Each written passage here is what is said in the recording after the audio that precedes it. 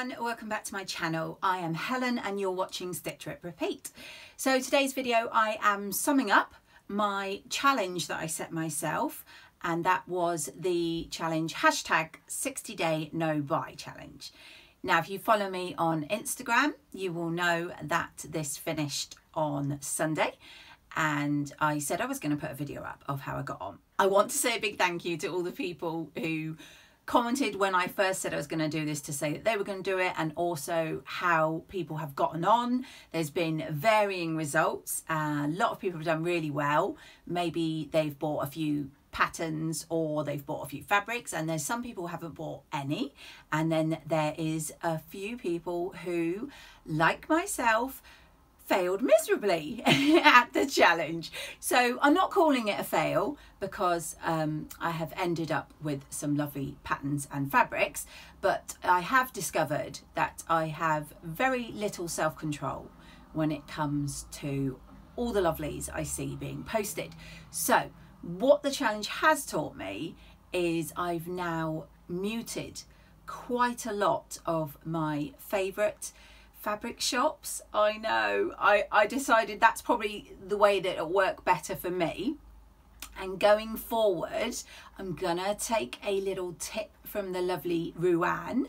So Ruan, you were quite right not to tell people because just like you, as soon as I decided I couldn't buy something, that is literally all I wanted to do. It's like when you go on a diet and you restrict yourself from certain things like maybe chocolate or crisps and as soon as you say you can't have them, you're not going to have them, that's all you crave. That's exactly what happens with me. so so it's not the best way for me to do it. So I decided maybe not having quite so many lovely fabrics and patterns popping up on my daily feed on my Instagram is probably a better way to go. So um, so I started off with a list. When I started to buy the odd thing, I was justifying it to myself. I always had reason, absolutely fine. And I have to say that the majority of the things I've bought is because they had a sale or I had a discount. So I feel good in that I didn't spend a huge amount of money. I did still buy a lot of patterns and fabric though. so, so this list, I'm going to start going through it, but I can see in front of me, I think I stopped, I stopped writing the list when it got ridiculous. So there was literally no point trying to justify anymore. I was just buying all the things. so first thing that I actually um, sort of broke my ban on was a couple of fabrics. So one of them was because it was from DIY or Die, who I fabric company I used to follow, well, still do follow because she still makes garments herself. But I followed them on Instagram and they put up a notice a while back that they were going to stop selling fabrics. And so they had discounted a lot of the fabrics. So that was my first, my first breaking of my ban um, was to get fabrics because they were going to shut and that's like I say how I justified it to myself. So the fabric that I picked up from DIY or Die is this lovely needle cord and if it doesn't shut very well I'll put in a photo but it's got a leopard print in this um, black around the outside and brown in the middle and then it's on a white background needle cord.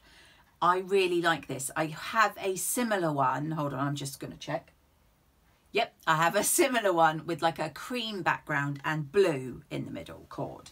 And I'm not 100% certain, but I am thinking a skirt for this one. Um, I have told you before on the channel that I'm trying to do more skirts, trousers, etc. So that I bought because they were going to close down. So I thought, nab it while you can.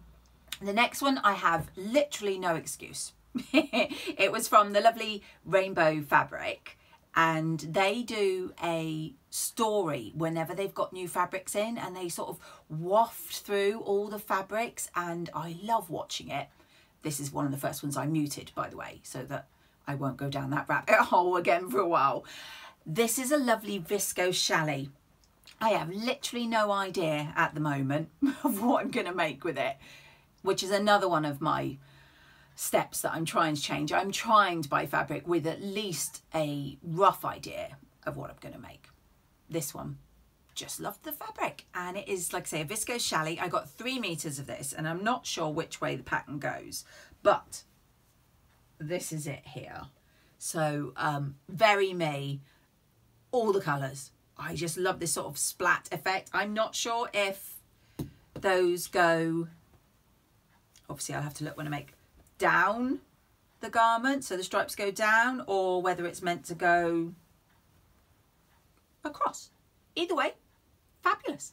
So that was the first two, and I remember thinking at the time, I wouldn't buy anything else. That was my little, you know, I'll do these two and I won't do anything else. No, of course, as you know, I've already said, failed miserably and carried on buying throughout my 60 days. So I think that the next thing that I bought was some patterns. I can't show you physically, physically, so I'll pop in photos. These were with discount codes I got from the Sewing Weekender and I bought one. Tilly had a discount code and I've seen so many gorgeous versions of the Lyra dress. Um, which is one of her recent patterns. I especially love all the ones that Liz, um, the baker that sews, has been making. Oh, they look fabulous. Do go check her out. Um, as with all my videos. If you've not seen me before, I do link everything I talk about down below, so you can go and check them out. Um, so yeah, I bought the Lyra because Tilly had a discount, and I also bought the Zadie because that's another one that I've been really wanting to do, and I had a discount code for that. The other one that I got from the Sewing Weekender discount codes was the True Bias, and it's the Shelby dress and romper which again was very popular pattern. Reminds me of dresses I had in the 90s. Um, so yeah, I picked that one up with my discount code because I have wanted that for quite a while. So that was really good. Okay, so other patterns that I got, um, I can't remember when exactly, but Simplicity had their 50% sale on and like I said earlier, I'm wanting to try and make um, more skirts and trousers, but don't have a huge amount of patterns. So took advantage of the uh, Simplicity sale. And I bought these jogger style, um, and it's the 8268. And it's got adults, childs, and teens, which I really love. And it's this simple looking, I hope, jogger style pattern. So you know I love a good pair of joggers. So I'm excited to try that one out. And then I got this lovely Mimi G style and it is 8889 and I really like these. I think if I can get them made up for summer, if our sun comes back, these trousers are fabulous. And the pattern includes the little blouse, which I think is very similar to the Kalle shirt in many ways. So you've got like a whole summer outfit in that one. So I was chuffed to get that one. I got 8701, which is one of their pattern hacking. So it's got lots of different options for the trousers on that one there. And finally, not trousers, but this one is like a pinafore dress. And this one is 8641 from Simplicity. And it is that one there. Not totally sure which one of the options I'd make but I really do like that. And I thought um, for the 50% off sale, those four patterns were um, really great. Sorry, I'm dropping them on the floor here if it's making noise. then I got a couple of patterns from people who were destashing. And the first one, I think this one cost me about £4 including postage.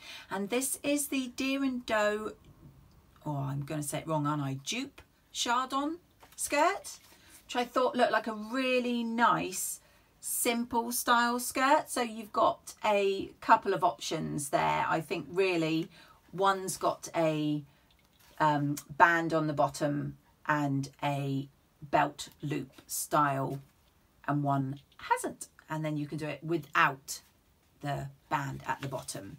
So yeah, I picked that one up because again, obviously skirts and trousers. And then lastly, I have a feeling I got this off the lovely Charlotte, who was the winner of the Sewing Bee a few years back. And again, this is another one I've eyed up before and I thought looks lovely. I've seen quite a few people make them. Really simple looking design, but I think in a really nice fabric could be a fantastic summer dress. And that is the Maker's Atelier pleat detail dress. And it also can be made as a top. So if I show you the line drawings, there. And I love that simple pleat, just giving it a little bit of classic style. So yeah, I did pick up uh, quite a few patterns, but none of the patterns were at full price. So I'm quite proud of myself there.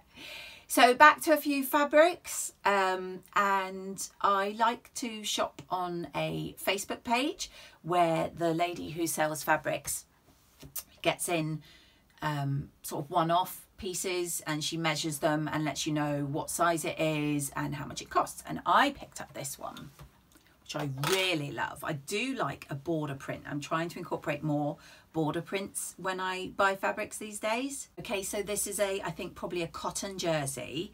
I don't know how well you're going to be able to see it, but it's this sort of limey yellow at the top, but then it goes down and hopefully you can see all the way to this lovely trees at the bottom border. I thought so summery, really lovely and summery. I think that colour with a tan, I know I'm being optimistic, um, but that colour with tan would be lovely. And I'm just thinking a really nice, simple shift dress with this this fabric here. Um, very summery. I think with a little pair of trainers. Um, that will be lovely. So I got that. And then Samantha Claridge had a 50% off fabric sale recently. Now these two I bought specifically after buying my, sorry, not buying, after making my summer outfit in the um, in the last video you should have seen. I think it was the last video where I made a Phoebe top from Love Sewing magazine and the Sphere trousers and it's my summer holidaying outfit. Um, I loved how that looked and I really like the idea of uh, summery stripes. So I picked these two up from Samantha Claridge in the sale. So firstly, and I'm hoping this will show, I apologise because I've forgotten what type of fabrics they are. I'll probably pop it in down below. I got this really lovely textured stripe and it's a bluey grey kind of colour I think and I think that'll make a lovely floaty pair of trousers it's really lightweight and um, yeah I loved that and then because of how the outfit I made looked I bought this one because I thought it was similar um, not see-through like the other one so um, it's like a pinstripe. So I don't know if you can see, but the stripes are tiny little dots. So it is a sort of pinstripe on a slightly off-white, not quite cream. And I think that this was a viscose. Again, I will check. but anyway, it is gorgeous. And I picked up, I think, like two or three meters of that because I'm hoping to make trousers and top again or at least trousers. I'm thinking both of these lovely floaty trousers. So as I say, those were 50% off. So I was quite happy with that. And then the last fabric I've got to show you that I bought in my supposed ban. I got this one just the other day. So as I said, I am easily influenced by seeing people posting on Instagram and Facebook, etc., when they've made up an item and where they got the fabric from. And this is one of my favourites. The lovely Shirl at Sew Affordable does just the most gorgeous fabrics. As you may already remember from my video I said, I'm going to be her Miss July. So I am literally working on that as we speak, but it's top secret. This fabric, however, is not secret. So she put this on the other day and she had two ladies makeup outfits from it and they were both stunning one of them, which hopefully I'll be able to find and pop up here, was like a whole nightwear set. So like a top and shorts and like a dressing gown, which I absolutely love and maybe what I'm doing. And the other was this fabulous skirt, which I also love. And I'm thinking the pocket full skirt from Stitched in Wonderland might look quite nice. So as you can see, this is a stretch satin border and it is in these gorgeous butterflies. So I'm hoping you can see, sorry it's creased, I've just, i just got it in the post the other day. So it's, uh, I would say slightly off-white for the main part with black butterflies and then the border, you've got that lovely black with the butterflies on. And yeah, I'm thinking a lovely dressing gown type robe. I'm actually thinking rather than shorts for the bottoms, I think this would look really nice as the Jamie. So my current everyday pyjama bottoms at the moment are Jamie up from Tilly, Tilly and the Button, sorry, the Jamie pyjama pants. And I've got them in a brushed cotton check. But I think if I made a dressing gown out of this and then the long full length Jamie with this lovely black border around the bottom I think that would just be really gorgeous. It's such a stunning fabric. I'm not sure how well I'm gonna cope sewing with satin but we will see. So that just arrived the other day and I can't remember exactly how much it was but I picked up four meters. So Shell's prices are brilliant. So it won't have been a lot, probably three pounds a metre. And I got four metres of it so that I can hopefully make, as I say, a whole evening outfit for um, lounging around the house. So that is my fabrics. I have decided to go with not a challenge because if I say I'm doing a challenge, you've already seen I just completely fall at the first hurdle. so I'm going to try and attempt to do a Save from your stash before you buy. I'm not going to say I'm going to do it and I'm not going to say I won't buy anything, but I'm trying. So Ruan put this up and I will try and remember what it was and who put who who suggested it. It was on Instagram and I'll pop the details here if I can find it. But I think it was sew up five items from stuff you from fabric you already have in your stash before you buy any new fabric. Now, as you know, I have a huge stash already. I've just added to it. However, the last three things I made were from my stash. So you've got the outfit I made with my white and black stripe, which I'd had for quite a while. So that was from my stash. And then two outfits that will be coming up in my Friday sews this week. I do apologise I didn't get around to one last week, but I will have those two items in my Friday sews this week.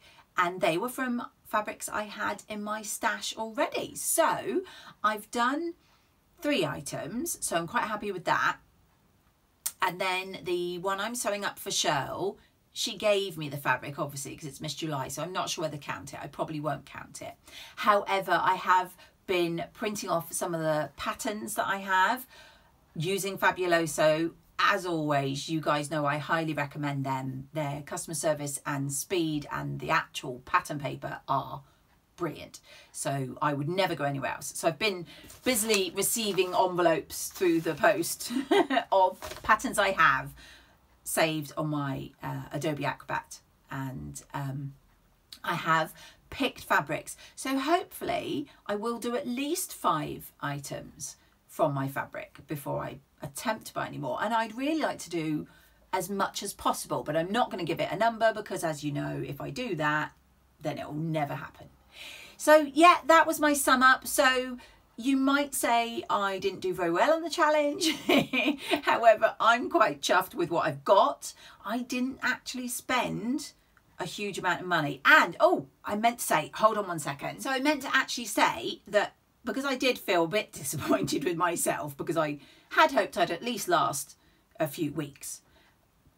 What I then did was I decided that, right, so yes, I have got these new fabrics. So I destashed some fabrics. So this is quite heavy, but I destashed over the last few days these fabulous fabrics. So I actually don't feel so bad because I've destashed more than I have bought. In future, the plan would be destash fabrics before I buy fabrics, but either way, I got back the money that I spent and then some. So I don't feel at all guilty. And if you did like me and broke the ban, don't feel guilty. You know, there's worse things to feel bad about than buying some fabric and patterns. So I am going to go now and I will pop this up later on. And if you could give it a like and if you haven't yet subscribed, I would really appreciate if you did. And also I should have my Friday sews up this week. So I will see you again then.